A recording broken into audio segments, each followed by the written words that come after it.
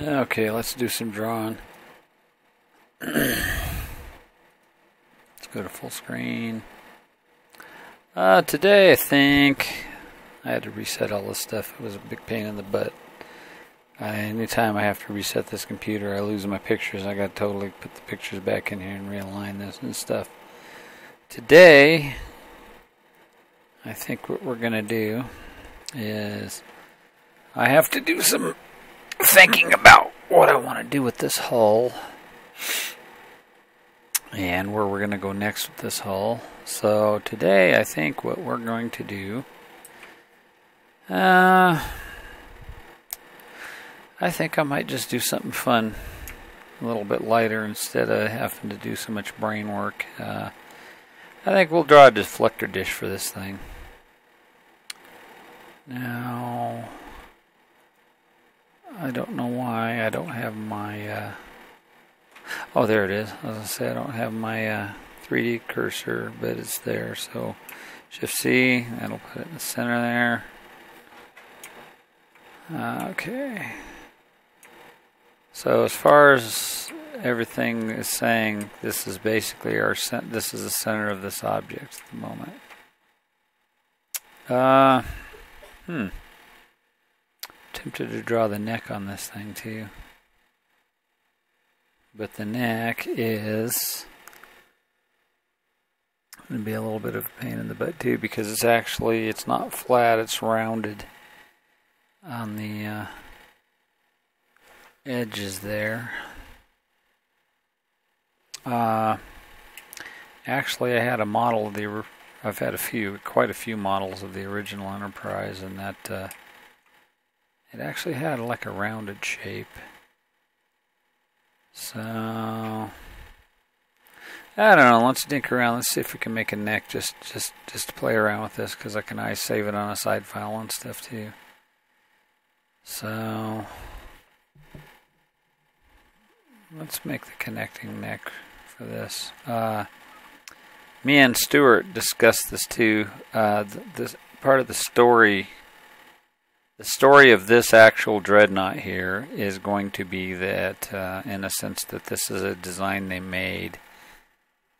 One of the designs, and that this uh, design basically was rejected. And uh, once I more or less, well, it's kind of funny. One, anything else I draw on here, except for a few parts, is kind of going to be the same. I don't know. I'm dinged pretty much at this point. I'm kind of to the point where I'm almost like drawing two ships actually.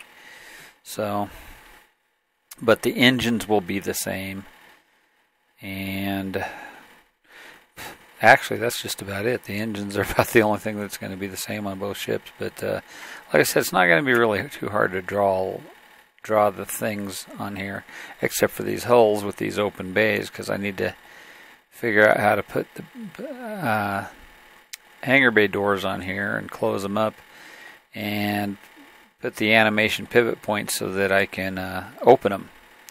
And then since they're going to be open, I need to put uh, interior detail in here, uh, landing like in here. I don't know if you can see where my arrow is. I'll zoom in a little bit. On this enterprise schematic, you kind of see this. Uh, you see the shuttle, and you see this like little hallway up in here where they could observe the launching and uh, recovery of the shuttlecraft because actually in the original series and pretty much even up into almost into the next gener- generation what they would do is uh, decompress the hangar bay open the doors take off land or whatever and when they brought a shuttle back in and they'd shut the doors and they'd repressurize this with with air you know and so they could get out and walk around and breathe but they didn't have any kind of kind of like magical shields like Star Wars and uh, Battlestar Galactica kind of has this thing where the ship, the, you know, they have a whole hangar bay, but it's full of air, but yet the Vipers can come in and land, and there's no door. It's it, it's like they have a way of compressing air in there and having kind of like a magic force field that keeps the air in, but yet it's still open where like the the ships can come in and land on the thing. Oh, okay. So thinking about this, I think what we'll do is well, I already got it saved, but we're going to save it to. I'm going to go File, Save As, and I'm going to make this nine. Make this a ten.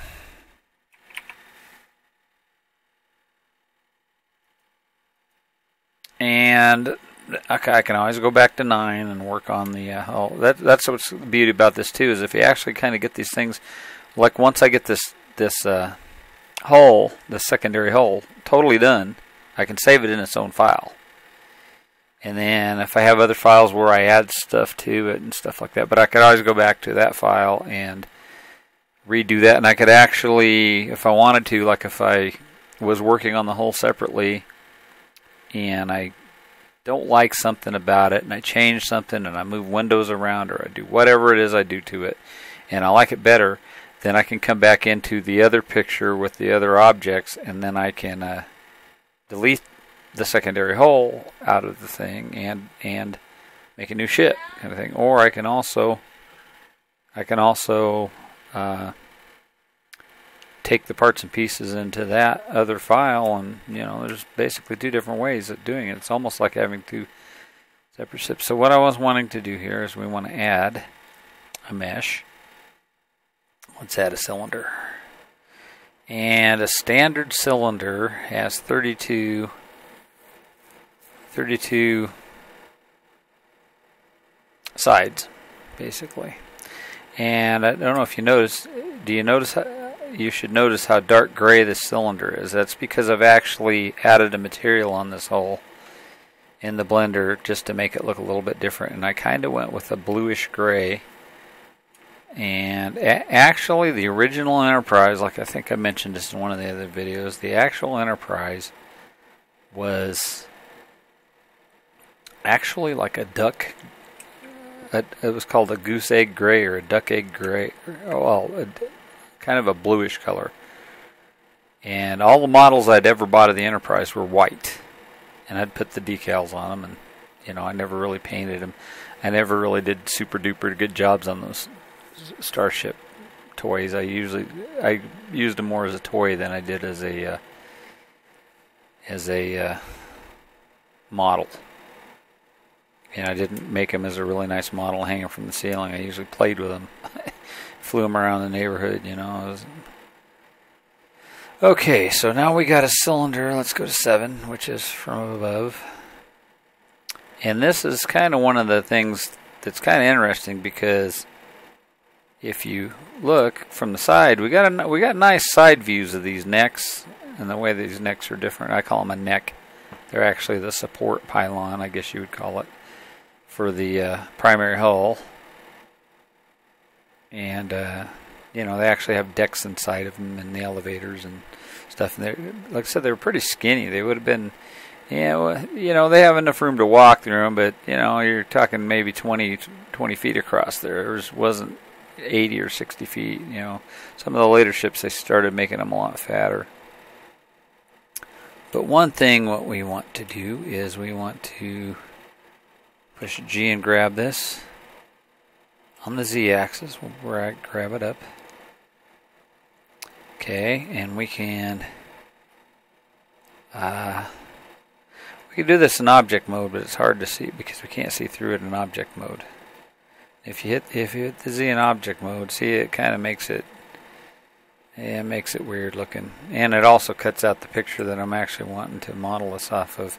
Because on this particular ship, I'm pretty much going to copy the Constitution class's uh, neck. The the neck on the dreadnought actual dreadnought class is bigger. It's a little bit uh, more broad and stuff. So what I want to do is I want to go to object mode or edit mode. Object mode. I want to go to edit mode. Then I want to hit Z. Then I want to hit A. And then that allows me to uh, okay and again I'm not getting my picture. Oh. No, it's in front. I don't know why it why it makes it look like it's behind it.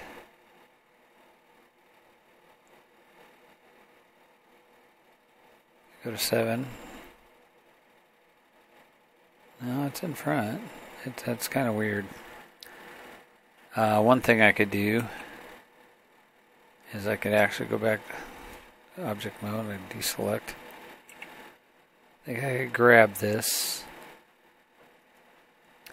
and I can grab it to the X and I can just slide it over here out of the way.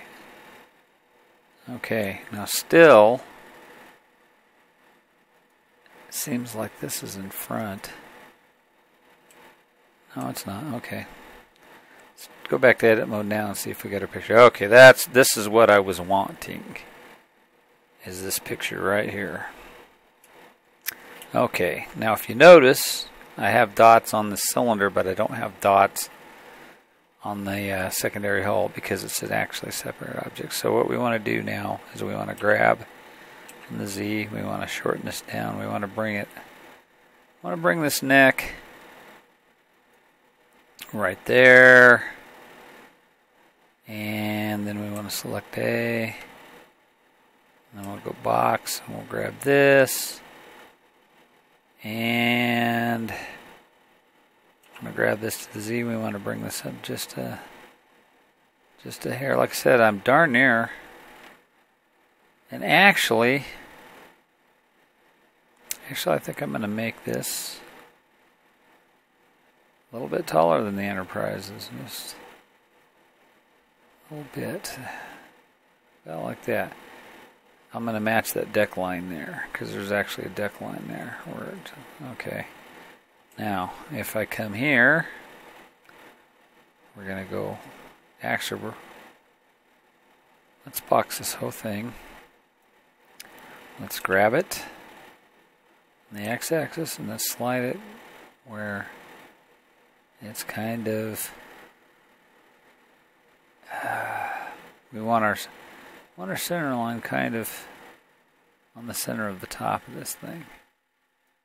Okay, now I'll show you a couple tricks. What's one cool trick is if we come back to object mode, go Z like this now. Watch, watch what I'll do. I'll, I'll, I'll come down here into object, and I will go to transform, and then I will go origin to center mass. And what that did was it that put that little yellow dot in the center of the cylinder. Because I should be able to scale. Let's go back to edit mode. And actually, we should run up here right quick and save it again. Just because, so if some, so if something messes up, you know, that we can, uh, okay, so let's go back, we're in edit mode, let's go A, let's go Z, okay. Now I'll show you what I'm wanting to do here. I want to actually take this whole thing, let's go B, and let's go scale. Oh, now see, this is making me irritated because it's scaling from the, uh, it's scaling from the 3D cursor. And I don't know how to tell it to scale from the, uh, actually I can right click there, I get 7, which, and I can right click here except for it's going to put it on top. I hit one again, see how it actually put, actually put it to the bottom, that's, put it back to the side. Uh, if I'm scaling it at one direction at a time, it's not really going to be that big of a problem. But I think I need to do some research. There's actually a way that you can tell it to scale the object from the center origin and not uh, scale it. I think it's over here and in. 3D cursor, location, item, cylinder, display shading, face it, it just seems. Yeah, I, am gonna have to look it up on YouTube, kind of thing, or or uh, I got a master Blender book, but uh, there's still things I'm learning about Blender, and it's so funny because sometimes when I figure it out or I get an answer, uh, I actually go to a lady called V Scorpion on YouTube because she has been doing this way longer than me as far as doing Blender, and she's also uh, she's also been real instrumental in just she does has a bunch of tutorials. She she doesn't draw starships or airplanes or ships, but she draws objects and she has tutorials on how to shade and UV map and use tools and Bezier curves and stuff like that. So I've been watching some of that stuff and I learned quite a bit from her and some other people like I'm subscribed to. So, but and then it seems like when I learn something, if I learn it the hard way, like I don't know how to do what I'm talking about, but I know that it's in here, and then once I figure, find out and I learn it, usually don't forget it. I'm usually kind of like, oh, okay, that's that. You know, that makes sense. Okay, so this is what I want to do. I want to scale this S to the X, which means I want to make this thing skinnier. And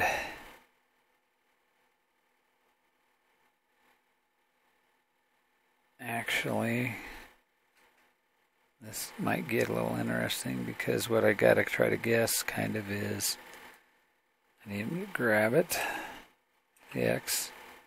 It's to move the object, but it's not to move. It's not to move the. Uh, okay. Then I hit A. Let's box and grab these lower ones. Let's grab them to the X.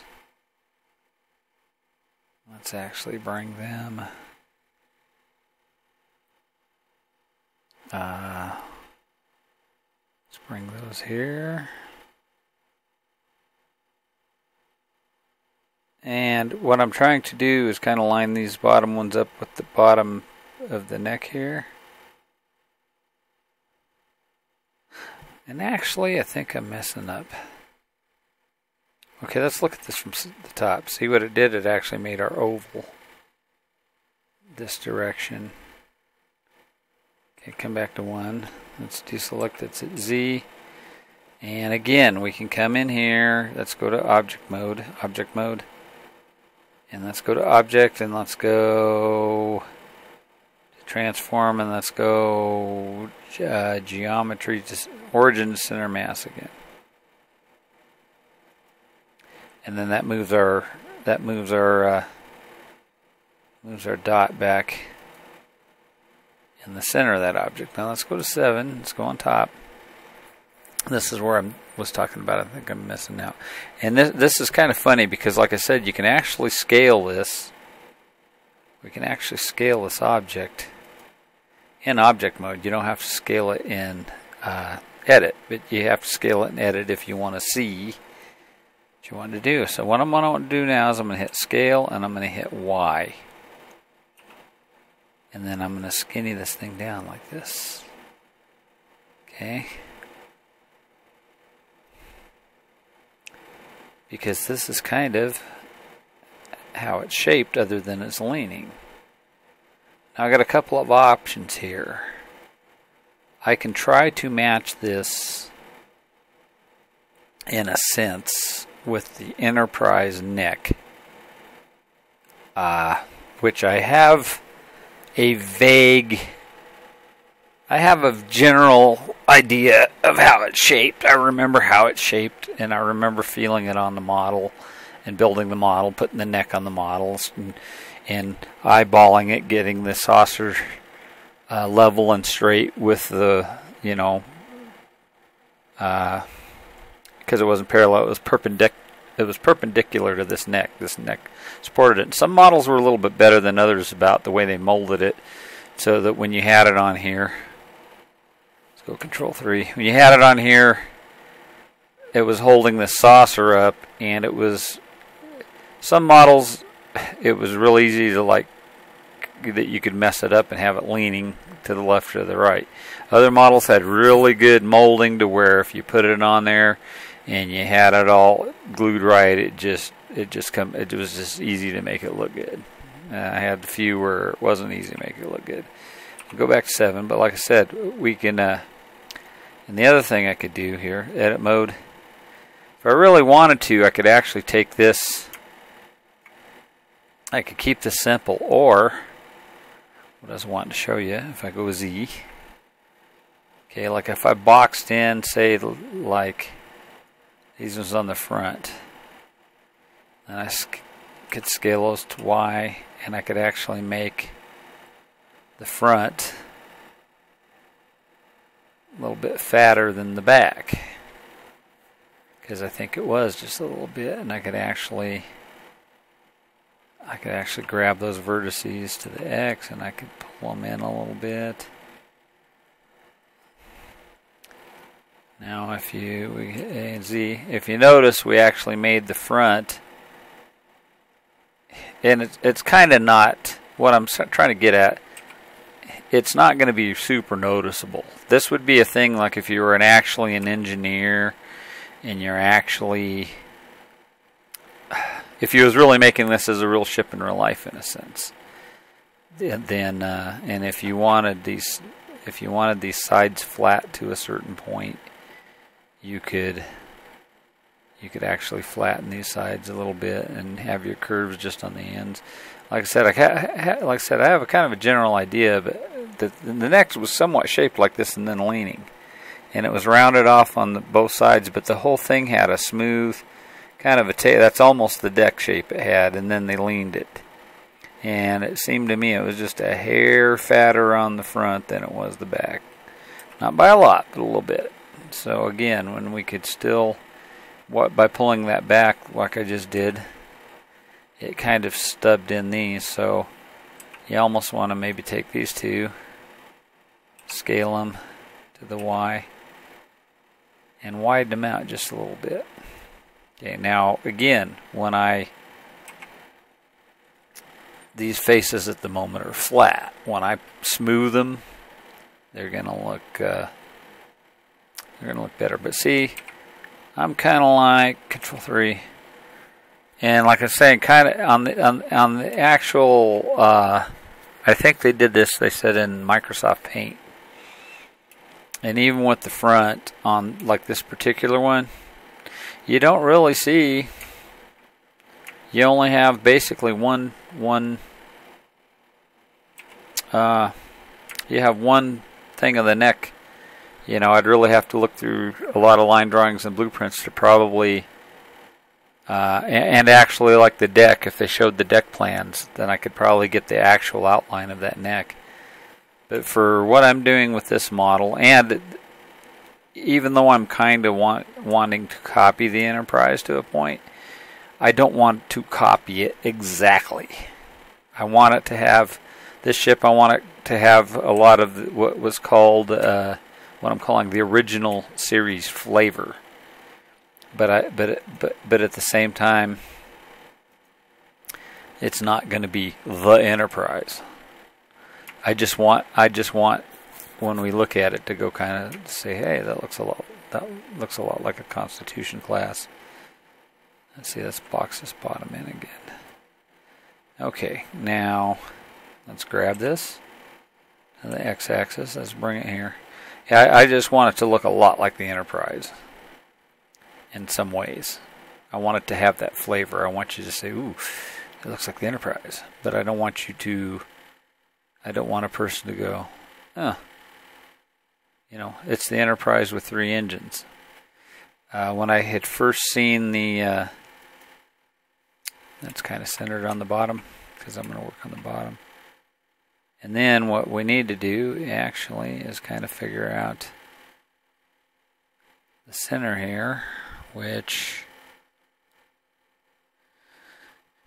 is actually should be should be this line here pretty much. Okay, let's scale this to the X and skinny it up and kind of eyeball it and see if we can grab it to the X. Move it a little bit and skinny it up some more. Scale it to the X, skinny it. Okay, that's pretty close to that neck design.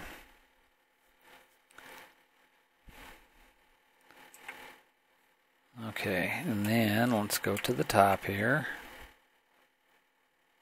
Let's box this up. And actually on this, I think we just need to grab it to the X, lean it out a little bit, Now the problem I notice already is that now all of a sudden this isn't this isn't scaled. And oh, and they have a drop down. And they have the drop down where it actually meets the saucer, but on a 3D model, unless I'm uh, gonna do okay, scale X. Whoopsie. Actually, it will scale X from there, which is kind of cool. So we'll make it just a hair bigger and then grab it. X. Okay, if you notice, that's pretty close. Okay, A and Z. Okay, what I was starting to say is that on a 3D model, there's two options. When I draw the saucer and put it on here, depending on how it fits on this, I can I could actually make that made up along the lines of the saucer and then draw out from it and stuff like that. Or the easier method which is what I'm doing and what I'm planning on doing is uh, okay let's go shift C is I'm just making the objects and then except for like in the hangar bay here but I'm not worried about it because there's actually going to be even as you look in here there's going to be some maintenance bays and some rooms and there's actually uh, in the design he actually kind of had this planned out for the neck to come down through there you know so that would have structural support in a sense. So let's save this right quick Again, let's go to object mode. Let's take this object and let's go to transform and let's put the uh, let's put the dot in the center mass again of that. So uh, what I'm getting at here is instead of instead of like I didn't create the neck to come up out of the secondary hull, which, which I actually could have done. But instead of doing that, I just made it separate, and we're going to we're going to uh, well, I'll show you one thing. What we're going to do, we're going to take this page here, and we're going to push Z. Okay. And we're going to grab this page to the X, and we're going to bring it up here. Let's go Z. Let's grab it. We're still on the page. Grab it. The X. And we're going to kind of figure out that that's kind of like the front of the ship. And that's kind of more or less where the uh, saucer, the uh, primary sensor array is going to come out of the front. Okay. Now, so we're going to grab this neck, grab it on the X. And we're going to bring it here. Okay. And we're going to grab it on the Z and we're going to bring it down just a hair. And see what I'm saying is if this looks, this starts looking like uh, because you got to realize you, you you you actually have a deck. In fact, let's just park that there for a second. You actually have a deck on this Constitution class. Since the hull sweeps up, you have a whole deck here that's above this uh, above this uh, dreadnought deck because this dreadnought deck was made flush, straight up and down. It doesn't it doesn't have a uh, doesn't have a curve up. So again I actually kind of have a couple options here. Now I could I could actually put a curve up in this uh, dreadnought deck, but as big as it is, uh, I don't know. It might it might would actually even look pretty good with a curve up in the deck. It it might actually might actually be interesting to put a curve up in that deck but it would change the whole shape of this. Uh, it'd be a lot of work at the moment. Uh, it's something I might consider, but I think, I think, because it would run, it would have to run the whole length of the hull and that kind of stuff. And I could put that in there, but as being bigger, it wouldn't really need it to be, you know, practical or functional. So let's grab this neck again, grab it on the Z. And let's bring it down. Let's mate it up with the picture. And, and like I said, we could park it up here. Actually, let's grab the sheet. Let's grab it on the Z.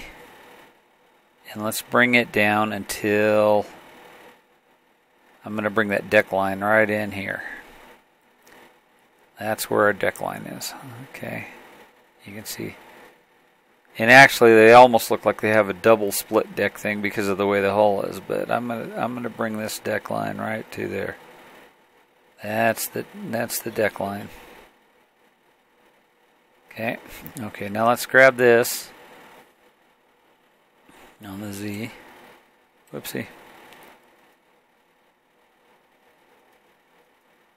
Okay. Let's grab it on the Z. There we go. I was hitting the Z, I wasn't grabbing the next. That, that's why everything was disappearing, kind of stuff. And let's bring this right down here. Now see, I'm going to bring it here lower, then I'm going to bring it back up. I'm going to bring it up where it mates right. Right there. Okay. Now what I'm saying, now see, we actually have this we actually have this down in this hole. And like I said, I don't think, control 3, I don't think this is going to be an issue because we're actually going to put some things in there. If it is an issue, I could just come to edit mode, Z, and I can box this. And I could actually grab it to the Z and I could actually just bring it up a lot tighter here. Go A and then Z, and then like like I said, well, I, I could uh, even put basically like I, once I draw in, I could draw in almost like a uh, runway. The other thing I could actually even do, if I really even wanted to, I could take each one of these vertices one at a time and pretty much bring it up to the surface.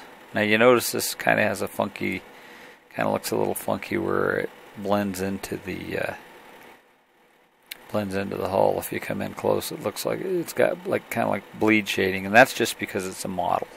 Once we texture this, UV map it, that kind of stuff, wouldn't be an issue. But if I really wanted, once I connect this, if I connect this as a this is a parent object, and I connect this neck, I connect this neck as a uh, Now what happened? Oh, I know what happened.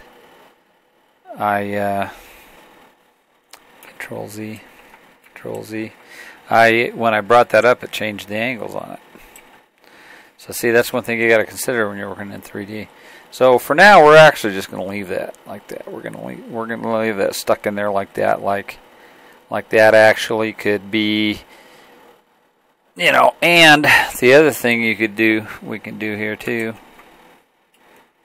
that might even be beneficial to a point would be see if we actually and they might actually do this if, if we uh, extrude to the Z and yeah whoops to the Z. You actually extruded this down through the hangar bay A, see they might actually would do something like this. I mean uh, it wouldn't be it wouldn't actually be impractical for them to have have it running down into the ship like this for you know so you could like I said if you had if you if you actually basically probably let's say they put a top deck you could actually have like a top deck in here. You could have a, a deck level in here that would be for maintenance and for support kind of a thing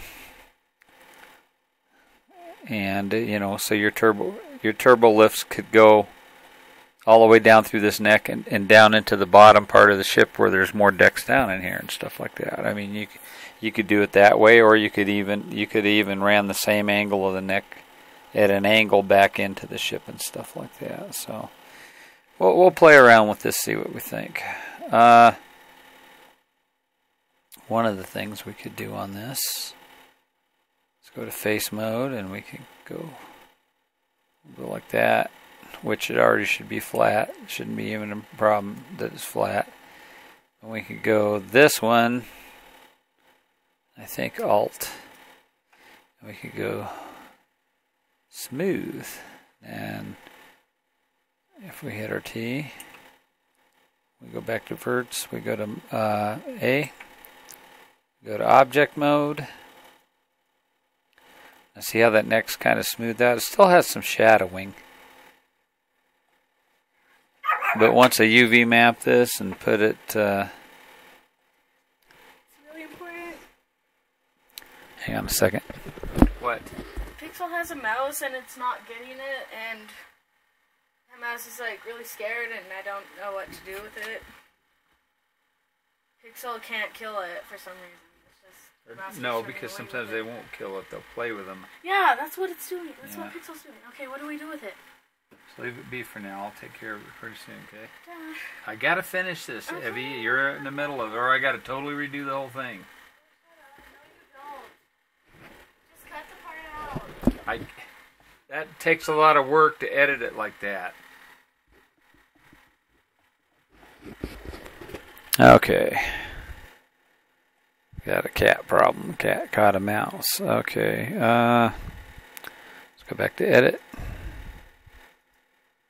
Let's go to faces. Let's go out with these ones. Again, T.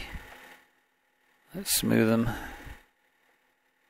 and verts and T and A like object mode. So that's what we're going to do for now. We're going to make the neck like this. And I'm going to save this. Excuse me. I'm going to save this file. Save as. And I will see you in the next video. Uh, I'm probably already on a half an hour too. I try to cut these shorts and I talk. Sometimes it talks so long about just Star Trek or whatever stuff. And then I kind of like the way that's looking. And then part of it, it's kind of funny. It looks small because, like I said, the hull is so much bigger than the Enterprise hull. That uh, it, it, you know, but I don't want just a scaled up Enterprise. I would want it to be practical. So in the sense that it would be in the Star Trek original series universe kind of a thing. So if if they did in a sense rob the design or use something from the uh, Constitution class design on a dreadnought, but they built this thing to carry a whole bunch of shuttles to put troops on the planet and or attack craft. They it's almost like it's a battleship slash aircraft carrier. It's a hybrid because it's going to have a lot of phasers and a lot of photon torpedo launchers, but it's also going to be able to carry like 20 maybe like 20 to 30 shuttles and stuff like that. Because I'm going to model a shuttle and we'll see how many we can fit in here, like practically, not just silly like having them just totally in it, but you know, see what kind of ships we can put in this thing. So thank you for watching. We will see you in the next video. Uh, I think this is. I think this is 10 this time. This is either 10 or 11, but uh, and like I said, I'll, I'll mark it appropriately, and then, then the next one, if it's 12, I'll know it's 12. So because I haven't made these in a few days, and and we will see you in the next video.